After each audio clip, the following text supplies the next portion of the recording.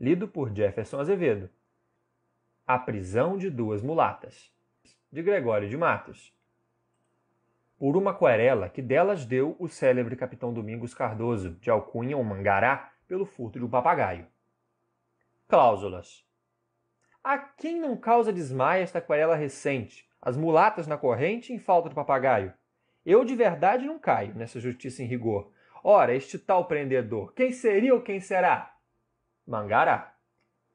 Diz que em tudo tinha graça. A jandaia abrindo a boca, dizendo o seu toca-toca: Meu papagaio, quem passa? Mangará que vai à caça. Porém, na presente perda, passará a beber. Que não faltará quem vá. Mangará. As mulatas no seu mal vão disfarçando a paixão, pois lhe deu dura prisão o papagaio real. Diz que para Portugal lindamente dava o pé, mas uma articula que o contrário provará. Mangará. Provará que ele gostara e que não satisfizera, e muitas coisas dissera se o papagaio falara, que o capitão intentara pagar-lhe em bens de raiz, pois sendo Mangará quis transfigurar-se em Cará. Mangará. Pondo-se o pleito em julgado, dá testemunhas procura, com o primo rapadura e um compadre seu melado.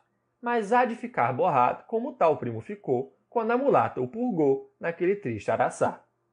Mangará. Na gaiola ou passarada, onde as duas pobres vejo, a primeira entrou sem pejo, mas a segunda pejada, arrebentou de buchada um presozinho pequeno, e criado com veneno, dano jamais lhe fará. Mangará. Todo povo que isto vê, pergunta em seu desabono, não ao papagaio, ao dono, que casta de pássaro é? Eu, por lhe fazer mercê, dou definição cabal, em contrafeito às naval, empenhado em Pirajá. Mangará www.poeteiro.com